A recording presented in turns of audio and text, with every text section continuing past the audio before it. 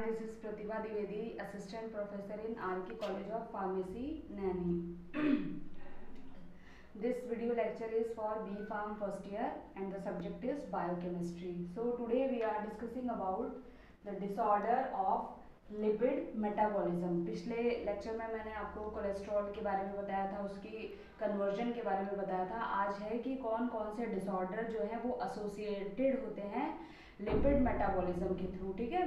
तो इसमें सबसे पहली चीज़ आप ये जानिए कि जो लिपिड्स होते हैं फैट्स होते हैं ये मेजर uh, सोर्स होते हैं एनर्जी के। ये आपकी बॉडी को सबसे ज़्यादा एनर्जी जो है वो फैट लिपिड या कोलेस्ट्रॉल के फॉर्म में ही मिलती है। तो ये जो लिपिड uh, या फैट हैं ये आपकी बॉडी में एनर्जी के सोर्स के फॉर्म में आपकी बॉडी में स्टोर होते हैं। ब्रेक डाउन होता है इनका कन्वर्जन uh, होता है इसी वजह से आपकी बॉडी फर्दर वर्क करती है। अब ये जो डिसऑर्डर टर्म है ये इसलिए बोला गया है क्योंकि आपका जो फैट है, अगर आपकी बॉडी में एक्यूमुलेट होने लगा, क्यों?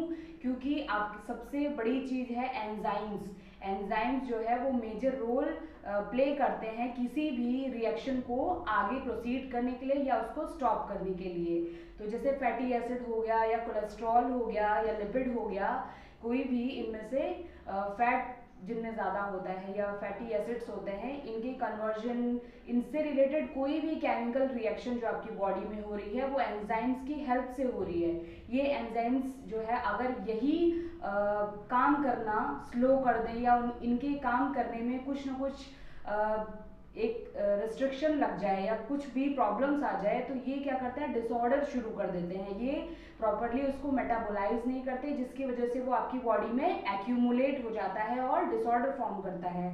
तो इसी को बोलते हैं lipidosis lipidosis means accumulation of lipids आपकी बॉडी में अगर लिपिड्स या फैट एक्यूमुलेट हो रहा है तो उस कंडीशन को बोलते हैं लिपिडोसिस ये लिपिडोसिस की कंडीशन ही फर्दर डिसऑर्डर को प्रोड्यूस करती है।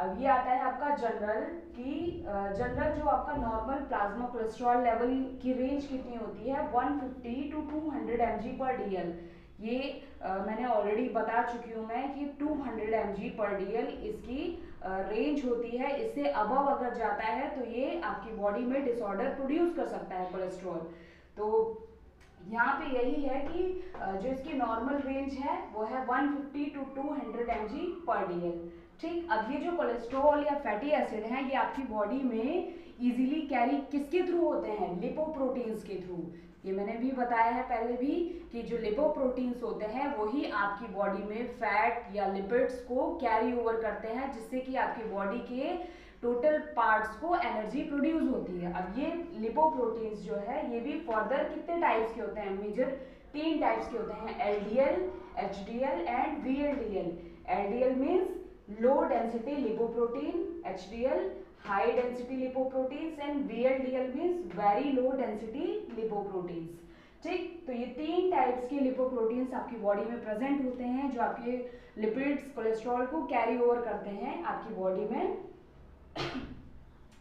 एलडीएल का एलडीएल को हम बैड कोलेस्ट्रॉल भी बोलते हैं, और एचडीएल को गुड कोलेस्ट्रॉल भी बोलते हैं। क्यों बोलते हैं? क्योंकि अगर आपकी बॉडी में एलडीएल का लेवल हाई होने लगता है तो ये क्या करता है? आपकी बॉडी के लिए बहुत हार्मफुल होता है। ये फर्दर हार्ट की डिज़ीज़ को प्रोड्यूस कर सकता है। जबकि एचडीएल क्या होता है? ये हाई डेंसिटी लिपोप्रोटीन्स होते हैं। ये हाई डेंसिटी लिपोप्रोटीन्स अगर आपकी बॉडी में इंक्रीज होते हैं तो ये आपकी बॉडी के लिए हार्मफुल नहीं बेनिफिशियल होता है। जनरली इनकी रेंज होती है 70 टू 200 हंड्रेड पर डीएल अगर ये 200 हंड्रेड पर डीएल से आपका एलडीएल लेवल ऊपर चला गया तो ये डिसऑर्डर कॉज कर सकता है। एचडीएल का लेवल अगर 30 से नीचे, इसकी जनरल रेंज है 30 टू 60 एम पर डीएल। अगर एच डी एल लेवल आपका 30 एम जी से बिलो चला जाता है तो आपकी बॉडी के लिए काफ़ी ज़्यादा हार्मफुल होता है। इसीलिए एच डी एल को गुड कोलेस्ट्रॉल बोला जाता है। बेसिकली जो भी आपके अनसेचुरेटेड फैटी एसिड्स होते हैं, उनमें एच डी एल वो ज़्यादा हाई लेवल में प्रोड्यूस करते हैं। एच डी एल को इंक्रीज करते हैं आपकी बॉडी में। ठीक? ये तो हो गया जनरल इंट्रोडक्शन कि लिपोडोसिस क्या होता है और लिपोप्रोटीन्स क्या होते हैं। अब आता है आपका मेजर पार्ट कि डिसऑर्डर्स कौन कौन से डिसऑर्डर्स प्रोड्यूस कर सकता है आपका कोलेस्ट्रॉल या लिपिड्स अगर वो एक्यूमुलेट हो जाता है आपकी बॉडी में। सबसे जो एक चीज़ याद रखिए कि जो लिपिड या फैट्स है ये आपकी बॉडी में सबसे ज़्यादा किसको अफेक्ट करता है? हार्ट किडनी और लीवर। हार्ट, किडनी और लीवर को सबसे ज़्यादा अफेक्ट करता है फैट या लिपिड या कोलेस्ट्रॉल ठीक तो इसी में है कि डिसऑर्डर है हाइपर कोलेस्ट्रोलेमिया सबसे मेजर डिसऑर्डर है। Obesity fatty liver means CHF heart failure C A D means coronary artery disease.